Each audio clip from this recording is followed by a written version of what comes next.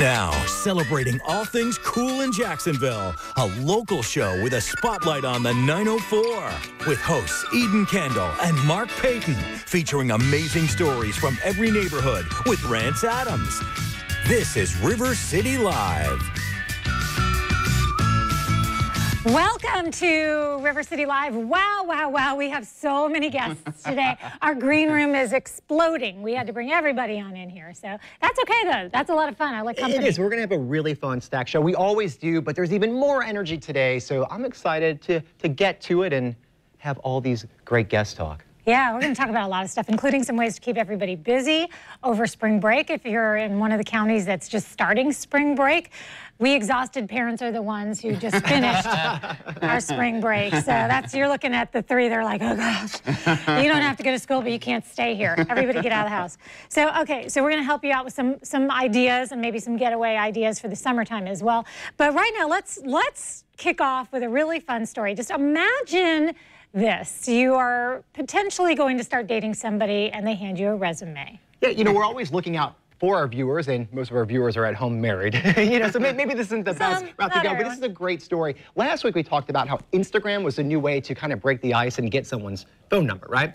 Well, now it was a student at Michigan State, and he came up with the genius idea of actually making a resume in order to get dates. So what happened is he asked the girl, and the girl said, well, I don't know, maybe if you had a resume, I would think about it. and boom, there it is. Look at the bottom. He even has a pie chart of how he breaks up his time.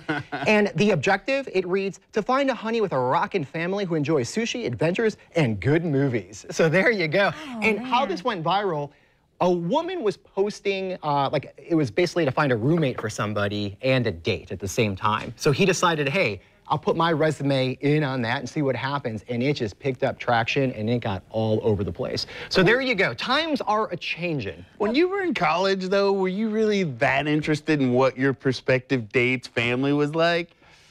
Okay, no. That, no, that's interesting. no. You're right. You're right. You're not seeing that far into the future, are you? I, don't think at college. But like, it, it, will come up at some point, right? But that's a little early. That's okay, like let me ask you this. I got, no, I have a good question for you. You ready for this one? If asked right now, what would your significant other say you lied about on your resume?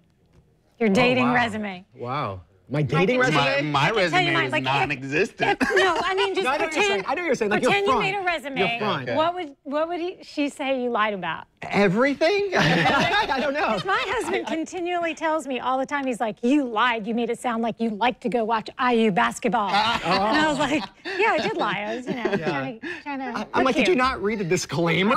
you have to turn it over, and then yeah. then you saw the real Mark. Once once you put a ring on it, I'm out of here. yeah, right. So, the yeah. rules changed. Yeah. All so of a sudden, true. all of a sudden, it went from "Go Hoosiers" to "Me time." Yeah, exactly. Right. All right. Well, no resumes needed if you are getting your date randomly, and that's what's happening at one school. Yeah, high school in uh, Freeport, Illinois. They have this thing that's been going on since 1926, where they put all the girls' names, juniors and senior girls' names in a hat, and the boys pick their names out of a hat, and that is your prospective prom date. Now, uh, they haven't had too many issues. It could be interesting, though, if you get hooked up with an ex, but I don't really think I would want to get down like that. Uh, one of the students said it's cool because nobody gets left out. Everybody gets to go to prom. But, I mean, really? I, I see that. Everybody's included in prom. So that's the nice part of it. And you could only imagine, because they've been doing this, I think, since like what, like the 30s or something. It's been a really 1926. Yeah, yeah, so it's been a really long tradition they've been doing it, and they just embrace it. it it's like it's like you what they know. do, and I think once everybody goes, you kind of find if you had a, a, girlfriend or boyfriend or whatever. You know what I mean? But it's just everybody's included. And I think that's the overall vibe. So it is working there. The students like it. Will it work everywhere? I don't know. That's how many? I, I want to know how many people are in their class because I graduated with like 900 students, yeah. so I can't even imagine how that would work. So maybe they've got a smaller little. I know yeah. a little bit about Freeport. It is a smaller community, uh -huh. you know, so I think the school is a little bit smaller. So maybe that's why everybody kind of gels together. I don't well, know. what about you? Like from I, a, a, woman's perspective, it just depends. I feel like that's one of those things you'll answer one way if you have a date, and another if you if you don't. Really, seriously. Right. But we do have a high school girl in in the room with us. I know you can't see her, but Kate, is that cool? Could somebody randomly pick your prom date for you, and you'd be okay with that? No, not yeah, at all. Not at all. So okay. So This I- is the new yeah. age, though. The women or the girls can ask the guys, or you guys don't even need. It's like we're gonna have our girl party. We don't need you fellas. Exactly. All right. Well, from prom comes college, and the story makes me hyperventilate just a little bit. Vanguard Investments used some data um, from College Board trends to tell us that the price of college is going up by an average of 6%. So you guys have it worse than me, obviously, but I, I still have a couple more to go. So in the next five to 18 years, here's what we're going to be looking at. So, all right.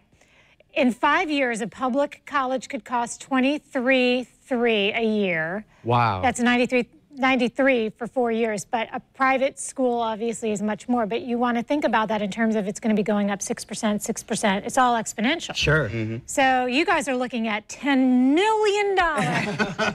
Scholarships. If you don't have the money, it is $10 million.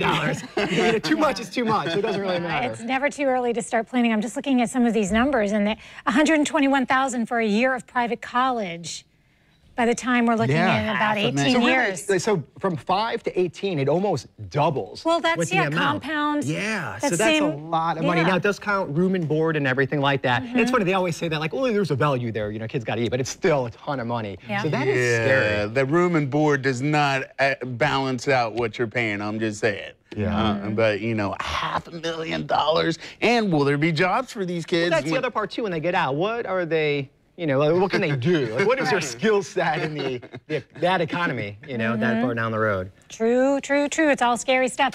And things always take a turn for the more technolo- technological, and delivery seems to be the wave of the future when it comes to doing your shopping these days. Yeah. yeah. So Costco, you know, everybody knows Costco, and you could go there and, you know, you're talking about spending money on college. Well, you could go to Costco and save money. Well, they teamed up with Shipt. And basically what Shipt does is it helps to bring the groceries to your house.